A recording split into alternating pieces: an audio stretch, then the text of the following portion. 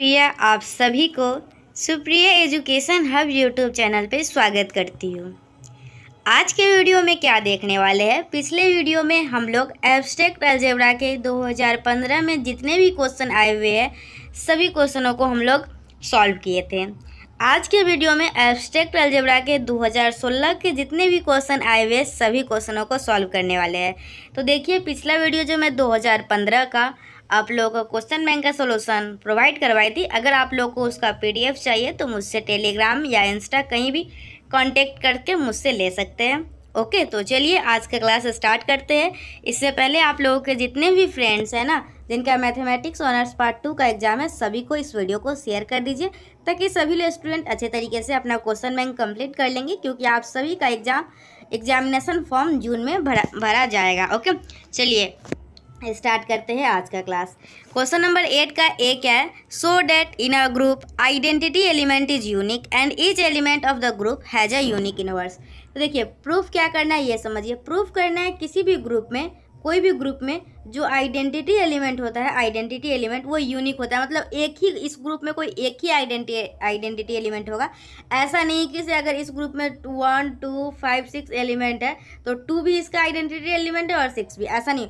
कोई एक ही आप लोगों का इसका आइडेंटिटी एलिमेंट होगा और उसका इन्वर्स भी जो होगा and each element of the group has a unique inverse और ग्रुप में जितने भी एलिमेंट होंगे ना, उसका जो इन्वर्स होगा, वो यूनिक होगा। यूनिक मतलब एक ओके एक उसके जैसा कोई दूसरा नहीं है ओके यूनिक मतलब क्या होता है?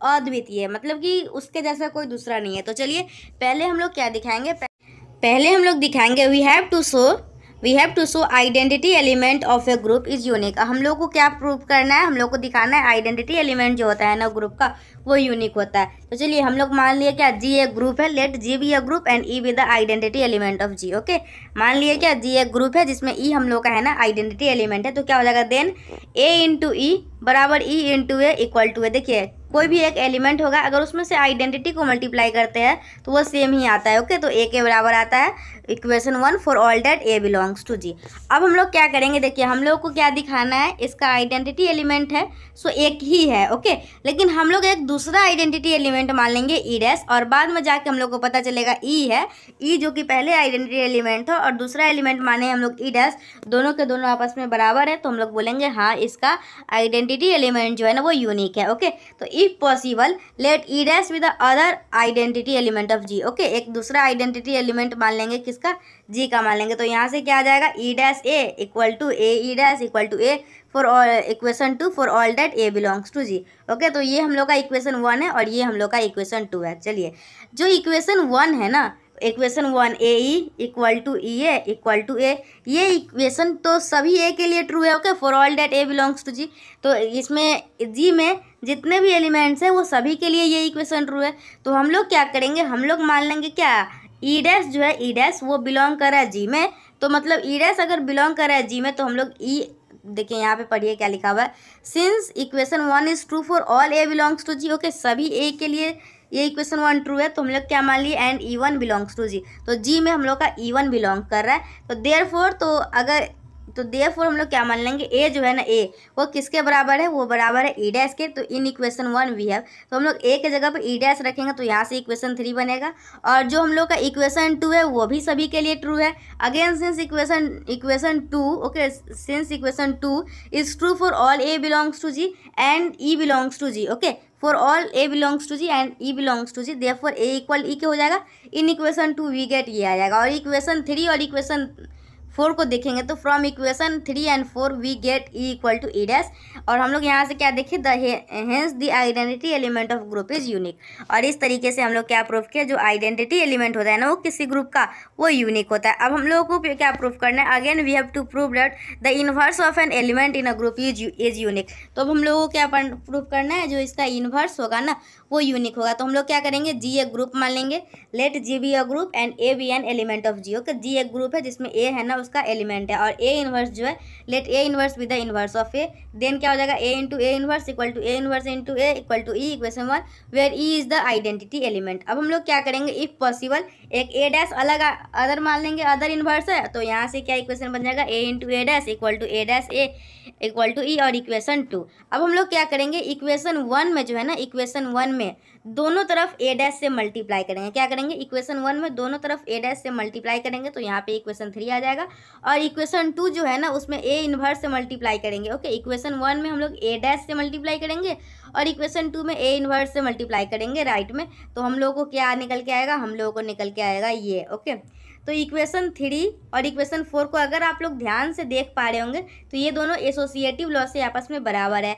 एसोसिएटिव लॉ में आप लोग को सिखाई थी ए बी सी है तो मतलब कि ए, इस एक इस दोनों का ऑपरेशन और equal to a into b c ये दोनों आपस में बराबर होता है तो ये दोनों आप लोग देख देख पा रहे होंगे दोनों एसोसिएटिव लॉ है। एसोसिएटिव लॉ से बराबर है। तो लेफ़्ट हैंड लिमिट अगर left hand left hand side वाले टर्म अगर इक्वल है तो राइट साइड वाला भी इक्वल होगा मतलब ए डैश जो है, वो किसके बराबर आ गया? ए डैश जो है ना, वो हम लोगों का ए इन्वर्स के बराबर आ गया। तो यहाँ से हम लोग क्या बोलेंगे? Hence the inverse of an element in a group is unique तो इस तरीके से हम लोग क्या किए? इस तरीके से हम लोग क्वेश्चन नंबर एट के ऑप्शन नंबर ए को सॉल्व कर चुके हैं।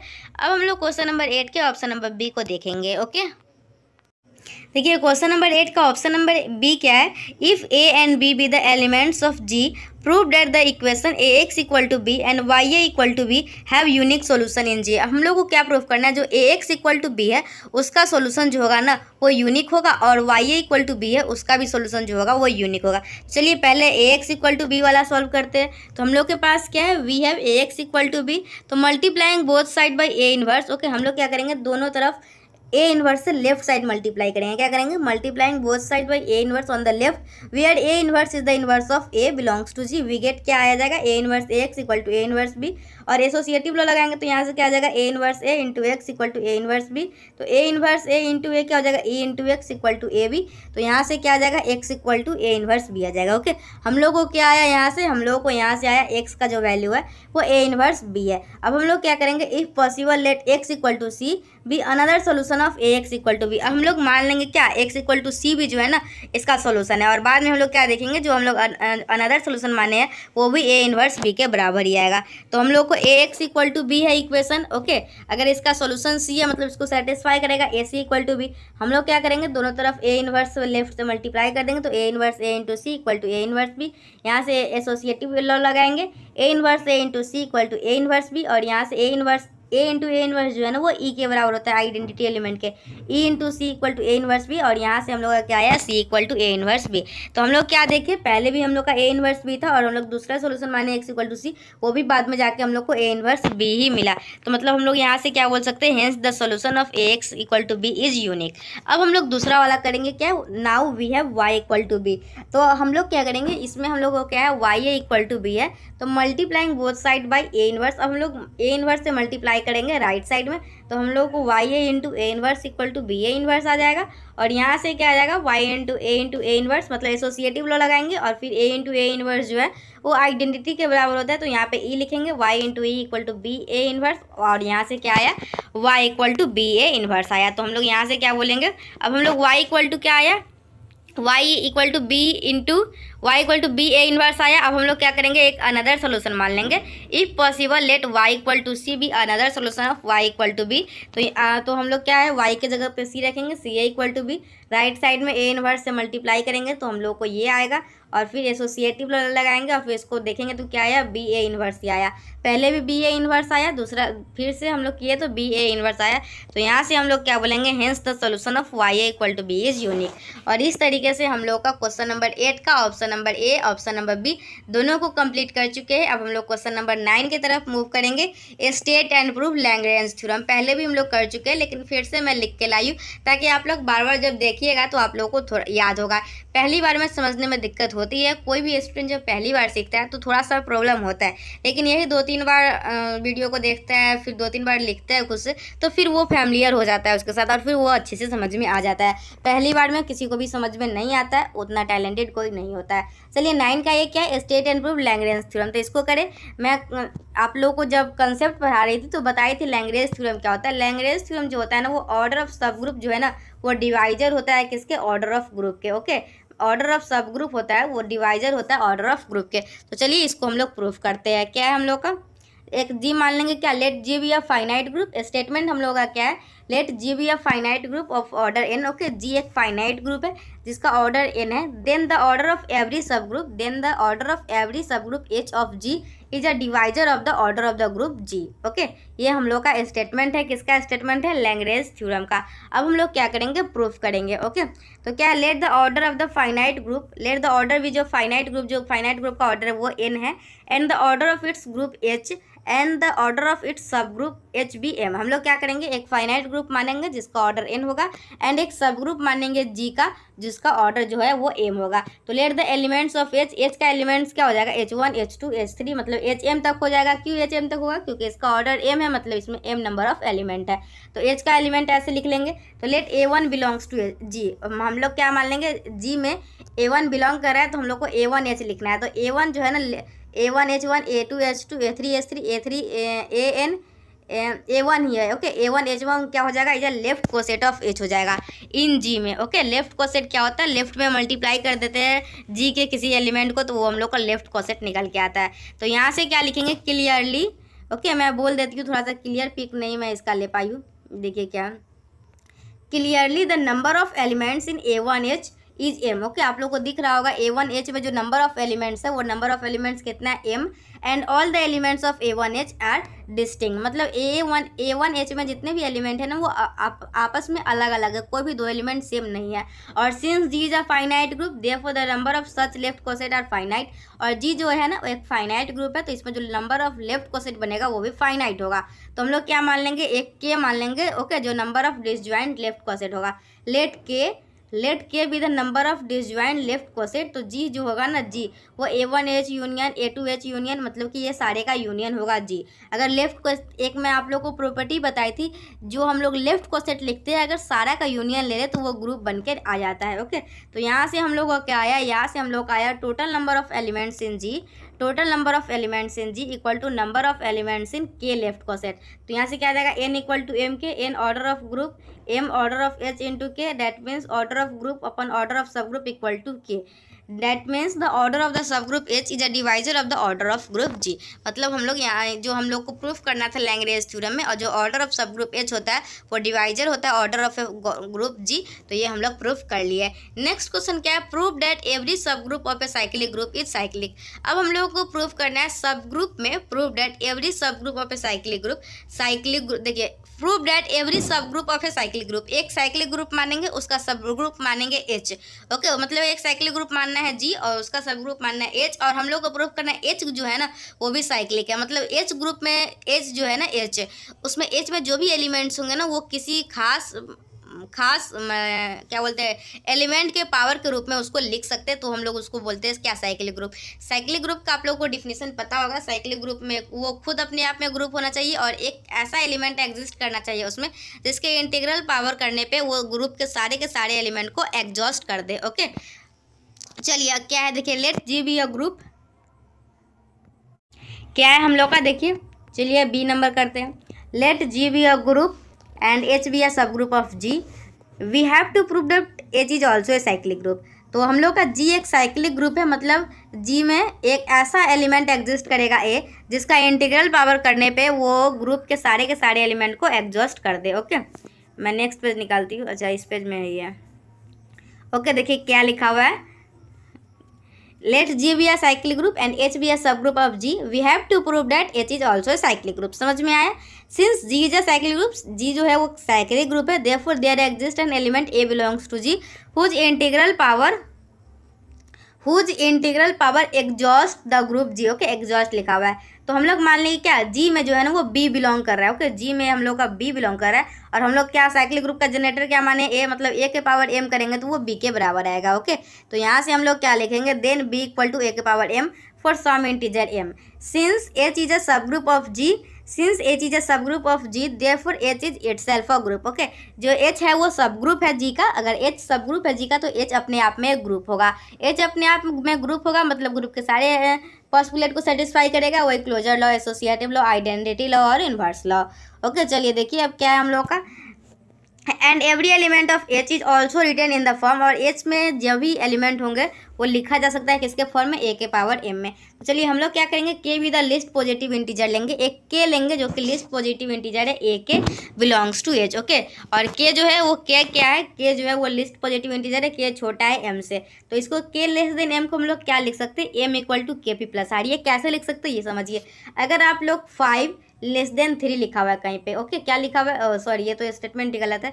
लिखा हुआ है क्या? थ्री लेस देन फाइव तो हम लोग क्या लिख सकते हैं? Five equal to three into one plus two लिख सकते हैं शांति से, आराम से लिख सकते हैं ना तीन एकम तीन प्लस दो मतलब फाइव। मतलब कि वही तीन एकम तीन प्लस दो इक्वल टू पाँच तो हम लोग लिख सकते हैं क्या ना? तो उसी तरीके से यहाँ पे K is less than equal to M है तो एम को हम लोग क्या लिख सकते हैं? के के पी प्लस आर तो हम लोग को ए के पावर एम निकालना है तो ए के power k P plus r a के पावर एम क्या है ए के पावर के पी इंटू ए के पावर आर ए के पावर के के पावर पी तो यहाँ से हम लोग क्या करेंगे ए आर का वैल्यू निकाल लेंगे ए आर का वैल्यू क्या आ जाएगा ए के पावर एम और ए के पावर के माइनस पी अब हम लोग क्या करेंगे हम लोग क्या देखे है हम लोग जब देखे ए के बिलोंग कर रहा है एच में ए के बिलोंग कर रहा है एच में तो इम्प्लाई कर रहा है क्या ए के पावर के के power P belongs to H okay, और एक, और अगर ये एलिमेंट एग्जिस्ट कर रहा है एच में मतलब एच जो है ना, वो एक ग्रुप है अपने आप में तो इसमें इन्वर्स भी बिलोंग करेगा। तो ए के power K minus P belongs to H since inverse element exist in H तो क्लोजर लॉ से क्या हो जाएगा? तो by closure law okay A के पावर एम बिलोंग कर, यहाँ पे ए के पावर एम एम है, ओके?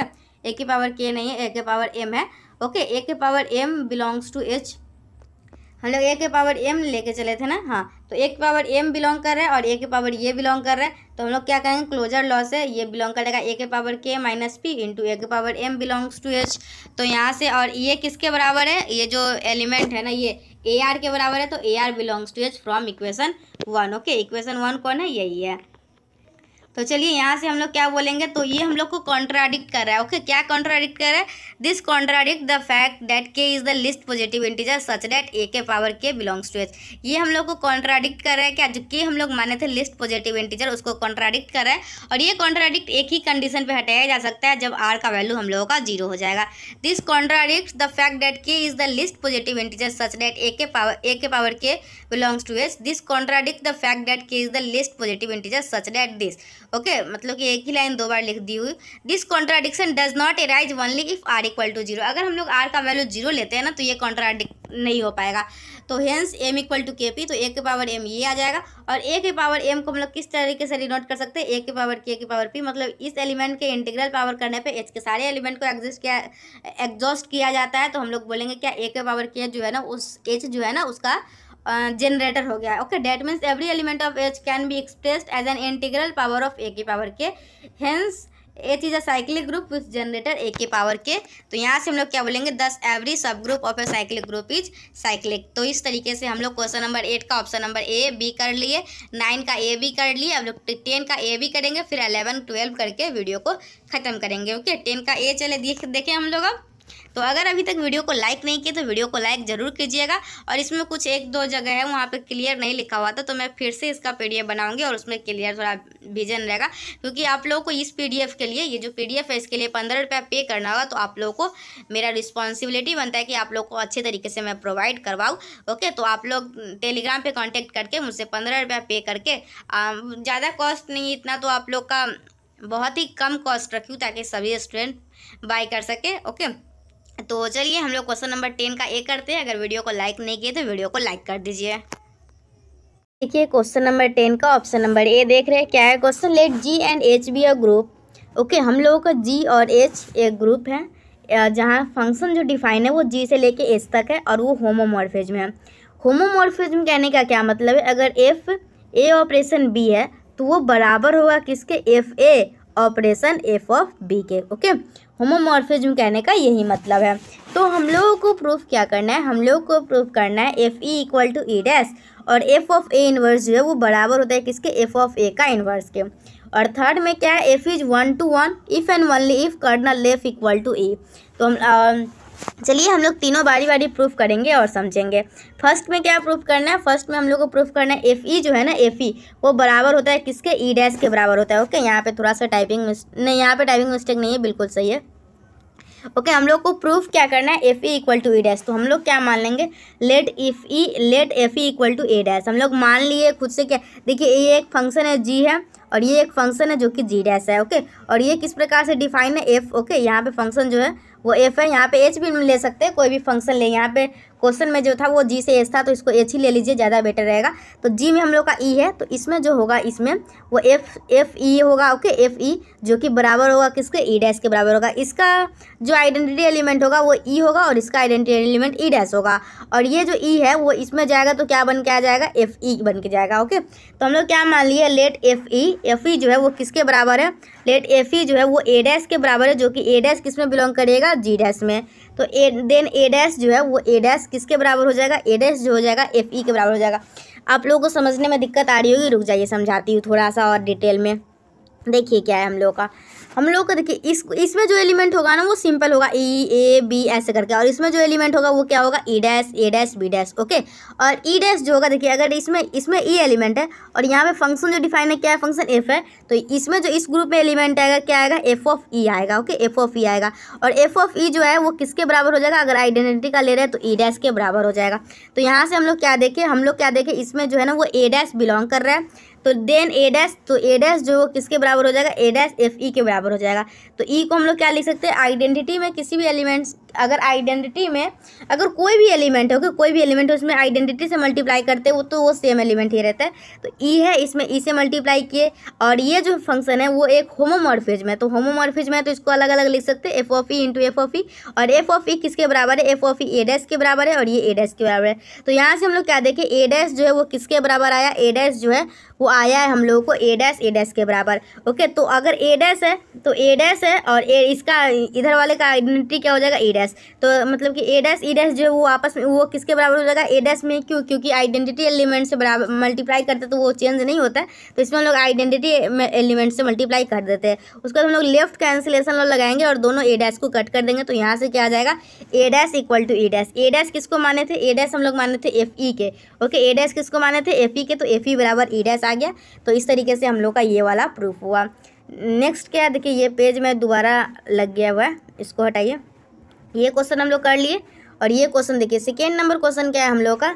सेकेंड नंबर क्वेश्चन क्या है देखिए ध्यान से। हम लोगों का प्रूफ क्या करना है? एफ़ ए जो है ना एफ़ ए किसका इन्वर्स है? एफ़ ए जो है वो इन्वर्स है इसका। तो दोनों का मल्टीप्लीकेशन देखेंगे, अगर अगर आइडेंटिटी के बराबर आ रहा है तो इससे हम लोग को पता चल जाएगा हाँ ये एक दूसरे का इन्वर्स है। तो F A into F of A inverse निकालेंगे। इस दोनों को ये होमोमॉर्फिज्म है तो इसको हम लोग लिख सकते हैं F A into A inverse A into A inverse किसके बराबर होगा? आइडेंटिटी के बराबर। और F E equal to E dash होगा, कैसे? पहला ही क्वेश्चन हम लोग प्रूफ किए, क्या एफ़ ई जो है वो ई डैश के बराबर है। अगेन हम लोग क्या करेंगे? इसके मतलब कि देखिए A B equal to B A equal to I आता है तो हम लोग क्या बोलते हैं? B is the inverse of A ऐसे ही बोलते हैं ना B is the inverse of A इसी तरीके से हम लोग ए भी निकाल लिए अब इसके अपोजिट निकालेंगे तो ये भी हम लोग को ई डैश के बराबर आएगा। तो हम लोग क्या बोलेंगे? ये जो दोनों आपस में बराबर है, वो ई डैश के बराबर है। This means that F A inverse जो है, ये सेकेंड एलिमेंट है, वो इन्वर्स है किसके? एफ़ ए के तो हम लोग इसको डिनोट कैसे कर सकते हैं? एफ़ ऑफ़ ए इन्वर्स जो है, वो एफ़ ए का इन्वर्स है, और हेंस प्रूव्ड ओके चलिए थर्ड नंबर क्या है हम लोगों का? थर्ड नंबर में प्रूफ क्या करना है? ये थोड़ा सा क्वेश्चन देख लीजिए, फिर आप लोगों को समझ में आएगा। देखिए क्वेश्चन नंबर थर्ड जो है ना, वो उसमें है F is one two one हम लोग को क्या करना है? एफ़ जो है ना वो हम लोग का one one two one function है if and only if kernel F equal to E तो जब भी लाइफ में कभी भी इफ़ एंड वनली इफ़ वाला क्वेश्चन आता है तो हम लोग को दोनों तरह तरफ़ से देखना होता है और फिर प्रूफ करना होता है। क्या? हम लोग पहले क्या मानेंगे? एफ़ जो है वो वन वन है। अगर एफ़ वन वन है तो कर्नल एफ़ ई के बराबर होगा। क्या करेंगे? अगर एफ़ वन वन मानेंगे पहले पहले हम लोग मानेंगे एफ़ जो है वन वन है तो कर्नल एफ़ जो है ई आएगा। उसके बाद हम लोग क्या करेंगे? मानेंगे कर्नल एफ़ जो है ना वो ई के बराबर दिया हुआ है तो फिर हम लोग प्रूफ क्या करेंगे? एफ़ जो है वो एक वन वन है। जब भी इस टाइप से क्वेश्चन आता है तो दोनों तरफ़ तरफ़ से हम लोग को प्रूफ करना होता है। तो चलिए, पहले हम लोग क्या मान लिए? पहले मान लिए एफ़ जो है, वो हम लोग का वन वन मैपिंग है ओके और हम लोग क्या मान लिए? Let A belongs to kernel F हम लोग मान लिए क्या? कर्नल एफ़ में जो है ना, वो ए बिलोंग कर रहा है। कर्नल का डिफिनेशन क्या होता है? कर्नल का डिफिनेशन वो होता है, अगर हम लोग एफ़ ऑफ़ अगर कोई भी एलिमेंट उसमें बिलोंग कर रहा है तो उसका अगर फ़ंक्शन निकालते तो वो हम लोग किसके बराबर आता है? आइडेंटिटी के बराबर आता है। किसके बराबर आता है? आइडेंटिटी के बराबर आता है ओके तो ए बिलोंग कर रहा है अगर कर्नल एफ़ में ओके अगर कर्नल एफ़ में ए बिलोंग कर रहा है तो एफ़ ए निकालेंगे एफ़ ए तो वो ई डैश के बराबर आ जाएगा। तो एफ़ ए यहाँ सही है ई डैश की जगह पे क्या लिख सकते हैं? ई डैश एफ़ ई के बराबर होता है। तो F A equal to F E है। तो देखिए, अगर वन वन कोई भी फ़ंक्शन वन वन है, अगर F X equal to F Y है तो वहाँ से हम लोग का इंप्लाई करेगा क्या? एक्स इक्वल टू वाई तो F A equal to F E है तो हम लोग यहाँ से क्या कहेंगे? ए जो है ए और ई आपस में बराबर है। क्यों? क्योंकि एफ़ जो है, वो वन वन फ़ंक्शन है। तो यहाँ से हम लोग को क्या आया? A equal to E A किसको माने थे? ए माने थे A belongs to kernel F मतलब kernel F equal to E पहला पार्ट हम लोग का प्रूफ हो चुका है, अब हम लोग इसको कन्वर्सली अब उल्टा देखेंगे। क्या देखेंगे?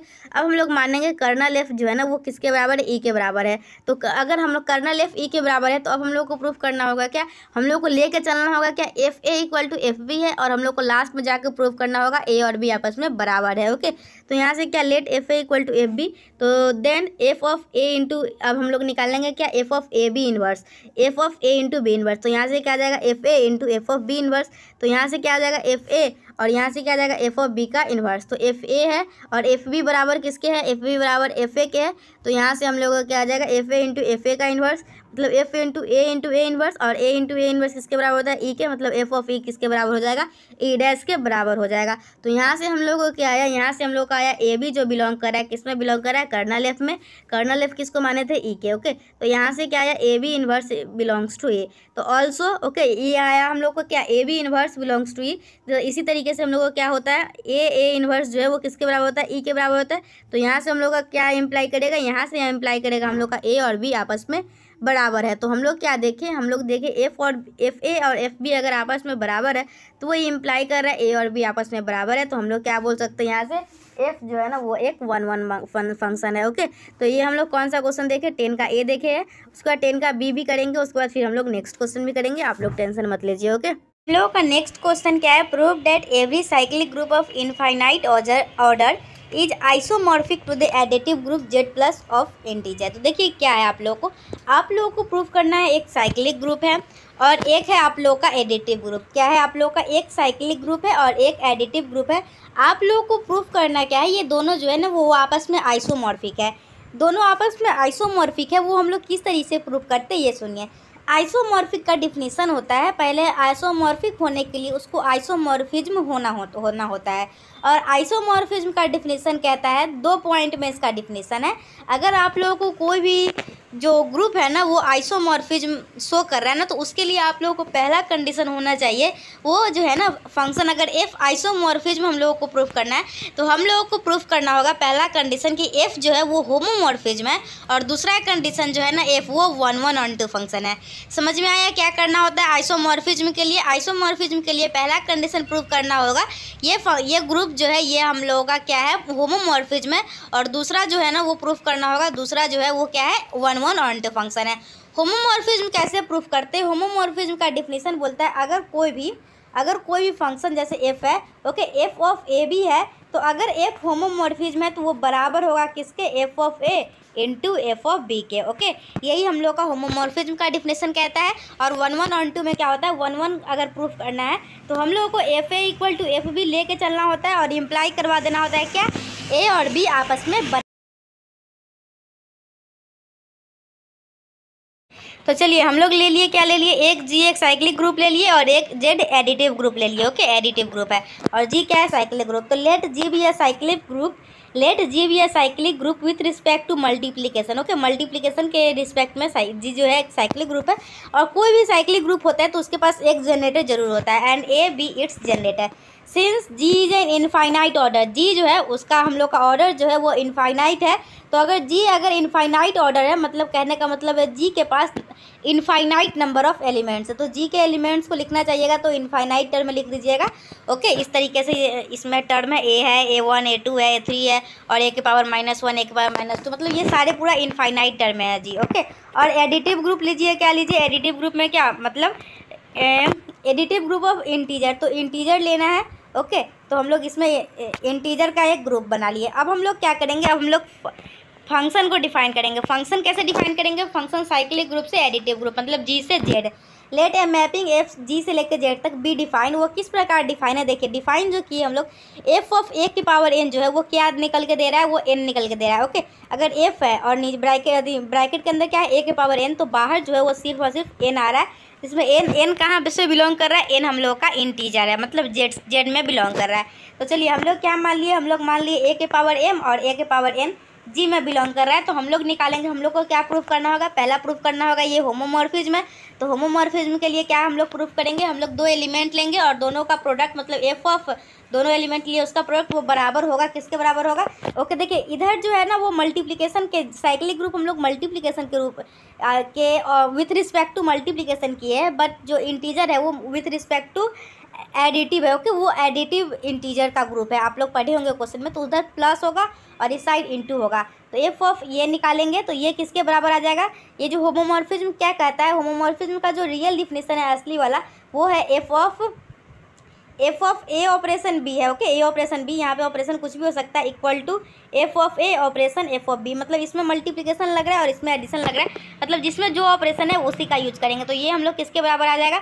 एफ़ ऑफ़ ए या फिर ऐसे भी समझ सकते हैं इंटू में है तो पावर जुड़ जाएगा तो F of A M plus N okay और इसको क्या लिख सकते हैं? इसका कंडीशन क्या हो जाएगा? एफ़ ऑफ़ ए के पावर एम अलग कर देंगे और एफ़ ऑफ़ ए के पावर एन अलग कर देंगे ओके यहाँ एफ़ ए देखिए, पहले ध्यान से सुनिए, आप लोग शायद मैं कुछ गलत भी बोल दी होंगी, आप लोग ध्यान दीजिए, मैं क्या बोल रही हूँ, देखिए। ये हम लोग का क्या है? हम लोग क्या लिए? ये दोनों एलिमेंट लिए और एफ़ ऑफ़ ए ये निकालना है हम लोग को। तो ये दोनों मतलब कि अगर बेस सेम है तो पावर जुड़ जाएगा, इतना समझ गए।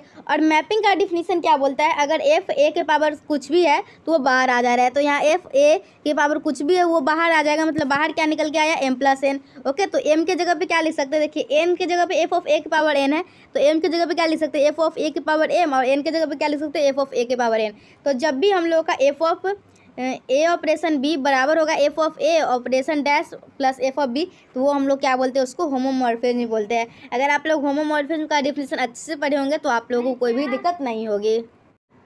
माने थे एक मैपिंग जो कि था, कहाँ से कहाँ तक था? जी एक साइक्लिक ग्रुप था और जेड जो कि एडिटिव ग्रुप था। उसके दोनों का मैपिंग जो माने थे, वो हम लोग प्रूफ कर दिए क्या होमोमोर्फिज में। अब हम लोग की बारी है प्रूफ करने का। ये वन वन और ऑन टू है। तो clearly F is onto okay F जो है वो वन टू होगा ऑन टू होगा because every element X belongs to Z is an image of every element A के power X belongs to G under the mapping F और F जो है वो वन वन भी होगा क्योंकि अगर हम एफ़ ऑफ़ ए के power M equal to F of A के पावर एन करते हैं तो इसका डिफिनेशन क्या बोलता है? एम आएगा। और इसका डिफिनेशन क्या बोलता है? एन आएगा ओके तो यहाँ से हम लोग क्या बोल सकते हैं? ए के पावर एम इक्वल टू एक पावर एन मतलब एफ़ जो है, ये हम लोग का आइसोमॉर्फिज्म है।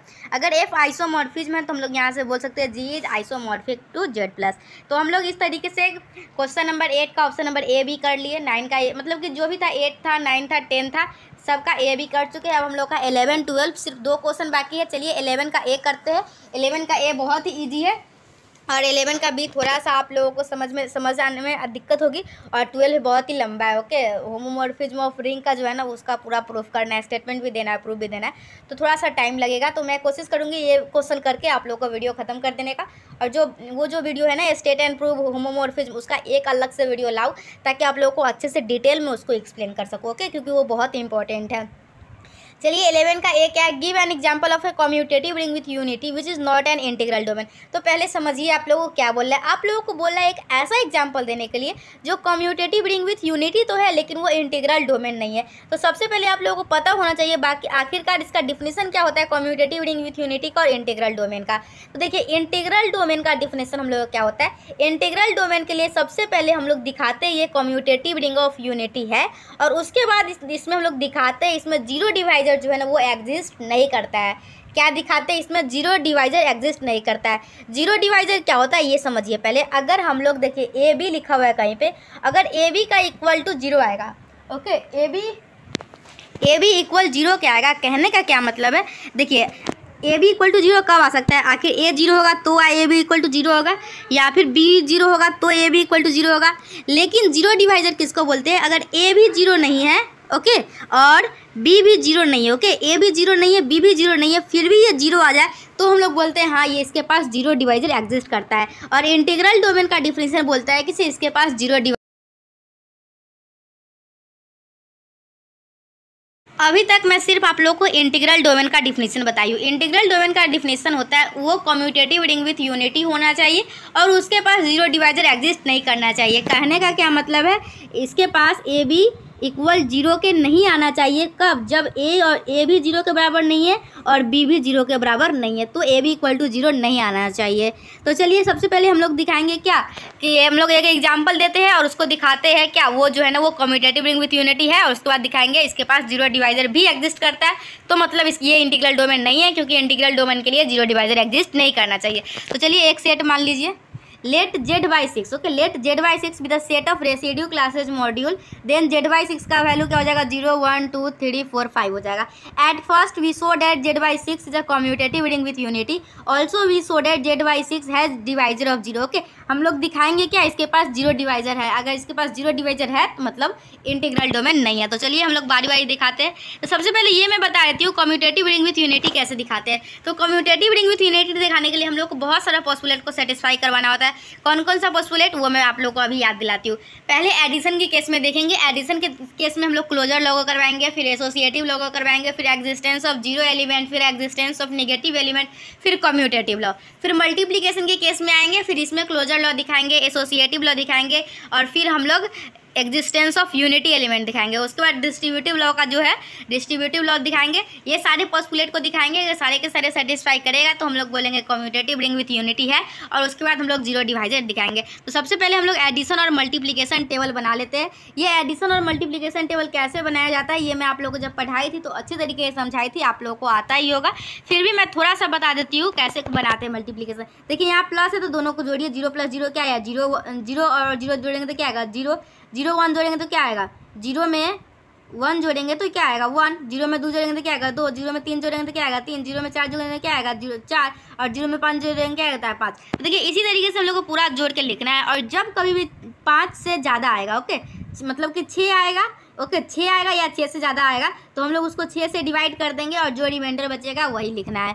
ओके पाँच से ज़्यादा, पाँच से ज़्यादा मतलब कि जब भी आता है, पाँच से ज़्यादा मतलब छः या फिर छः से ज़्यादा। तो हम लोग क्या करेंगे, हम लोग सिक्स से डिवाइड कर देंगे और जो रिमाइंडर आएगा वो यहाँ पर लिखेंगे। जैसे अगर देखिए यहाँ पर दो है और यहाँ पे पाँच है, दोनों को जोड़ेंगे तो क्या आ जाएगा, सात आ जाएगा। तो यहाँ पर सात नहीं लिख के छः से डिवाइड कर देंगे रिमाइंडर क्या बचेगा, एक तो यहाँ पर एक लिखेंगे। और इसमें एडिशन के केस में है तो ऐड करके अगर ज़्यादा आता है तो उसको डिवाइड कर देते हैं। मल्टीप्लीकेशन के केस में अगर मल्टीप्लाई करते हैं और ज़्यादा आ जाता है छः से तो हम लोग उसको डिवाइड करके जो रिमाइंडर बचता है वो लिखते हैं। तो इसी तरीके से एडिशन और मल्टीप्लीकेशन टेबल लिख लेंगे और इसके बाद हम लोग दिखाएँगे, क्या दिखाएँगे? यही जितने पॉस्पुलेट में बताई हूँ कम्पिटेटिव रिंग विथ यूनिटी का, ये सारे दिखाएँगे, उसके बाद ज़ीरो डिवाइजर दिखाएँगे ओके ये आप देखिए क्या पहले एडिशन के केस में फॉर एडिशन एडिशन के लिए क्लोजर लॉ सेटिस्फाई करवाएँगे। From addition from addition table क्या लिखा हुआ है देखिए?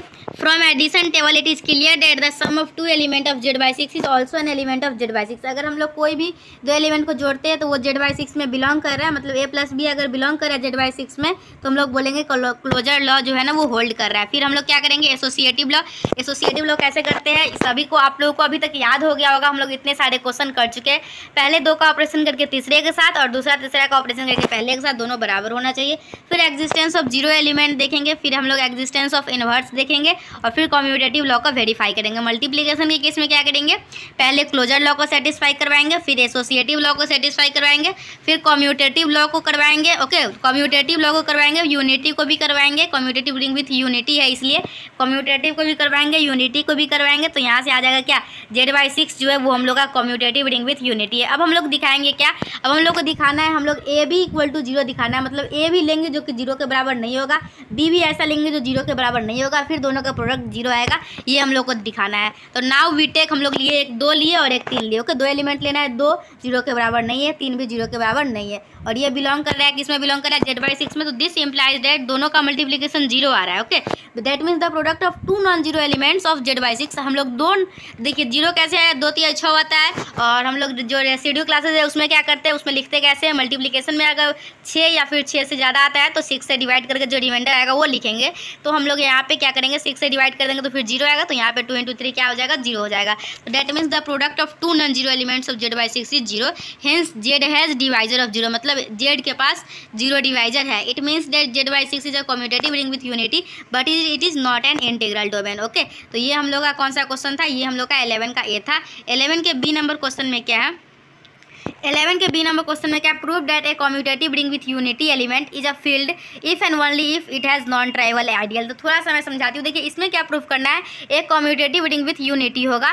Okay commutative ring with unity मतलब वही ज़्यादा सादा सारा पॉसिबुलेट एडिशन में closure law associative law existence of zero element existence of negative element commutative law फिर मल्टीप्लिकेशन में एसोसिएटिव लॉ फिर पहले क्लोजर लॉ फिर एसोसिएटिव लॉ फिर कम्यूटेटिव लॉ फिर एग्जिस्टेंस ऑफ़ यूनिटी एलिमेंट और फिर डिस्ट्रीब्यूटिव लॉ ये सारे होगा prove that a commutative ring with unity जिसके पास ये सारे है ना वो फ़ील्ड है. मतलब वो फ़ील्ड है मतलब उसमें ए, एक ऐसा भी लाइक फ़ील्ड फ़ील्ड होने के लिए बस एक नया कंडीशन उसमें ऐड होता है जो कि होता है मल्टीप्लीकेटिव इन्वर्स मल्टीप्लीकेशन के केस में एक मल्टीप्लीकेटिव इन्वर्स आ जाता है. If and only if it has no it has no non trivial ideal तो इसके लिए दोनों तरफ़ से करना होगा। सबसे पहले हम लोग को मान लेना होगा, इसके पास कोई भी नॉन ट्रीवियल आइडल नहीं है तो हम लोगों का ये फ़ील्ड है और मतलब कि दोनों तरफ़ से इफ़ एंड वन लीफ वाला कंडीशन जब भी आता है तो दोनों तरफ़ से प्रूफ करना होता है। तो इलेवन का भी हम लोग नेक्स्ट वीडियो में करेंगे ओके और ट्वेल्व नंबर क्वेश्चन क्या है? State and proof the fundamental theorem of homomorphism of ring तो ये आप लोग का इसका दो स्टेटमेंट है, फिर दोनों का प्रूफ है, बहुत लंबा है और ये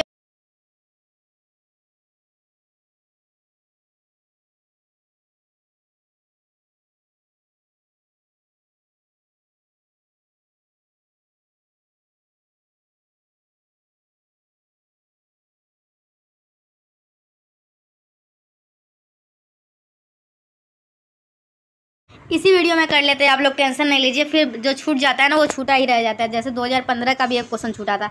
इसको देखिए, क्या है? State and prove the fundamental theorem of homomorphism of तो ये स्टेटमेंट क्या बोलता है? जो हम लोग का स्टेटमेंट बोलता है, पहला statement the quotient ring okay quotient ring क्या होता है? R Y I of a ring with respect to an ideal R R is a homomorphic image of R और सेकेंड क्या बोलता है? If F be a homomorphism of a ring R onto wording r dash and i with the kernel of f, then i be an ideal of r and the quotient ring r by i is isomorphic to r. और इसको और इसको क्या बोलते हैं? Any homomorphic image of a ring R is isomorphic to the quotient group of the R with respect to the kernel of the homomorphism रहने देते थक गए हुए मैं मैं नेक्स्ट वीडियो में ही करवाऊँगी, रहने दीजिए। ओके तो रहने दीजिए, यहीं पे कंप्लीट करते थक चुके हैं, मैं सोची हो जाएगा, लेकिन नहीं हो पाएगा। मिलते हैं नेक्स्ट वीडियो में, तब तक के लिए bye thanks for watching my video और हाँ 2015 2016 के एब्स्ट्रैक्ट अलजेब्रा के लगभग मतलब एक वीडियो में दस क्वेश्चन आप लोगों को कंप्लीट करवा रही हूँ। दस दूना बीस। बीस क्वेश्चन कंप्लीट हो चुका है। आप लोग ये सारे क्वेश्चन को कॉपी में लिखिए और इसको बार बार लिखते रहिए और प्रैक्टिस कीजिए। सारे थ्योरम को याद कीजिए, क्योंकि ये सारे थ्योरम आप लोग के एग्जामिनेशन में आ सकते हैं। एग्ज़ाम में इसके अलावा कोई क्वेश्चन नहीं आता है। पार्ट वन का एग्ज़ाम अभी हुआ है। क्वेश्चन बैंक से और एग्ज़ाम में क्वेश्चन आया, वो सारे से मिलाई हुई एक भी क्वेश्चन क्वेश्चन बैंक से बाहर नहीं पूछा जाता है। तो अगर आप लोग सिर्फ़ क्वेश्चन बैंक ही पढ़ लेते हैं ना तो आप लोग अच्छे से नाइन्टी प्लस स्कोर कर लीजिएगा। तो टेंशन बिल्कुल मत लीजिए, बस आराम से पढ़ाई करते रहिए। जो भी वीडियो चैनल पर आता है, उसको देखिए और इन्जॉय कीजिए। ओके बाय तब तक के लिए मिलते हैं दो हज़ार सत्रह के एब्स्ट्रेक्ट अलजेब्रा के क्वेश्चन बैंक के सोल्यूशन के लिए। तब तक के लिए बाय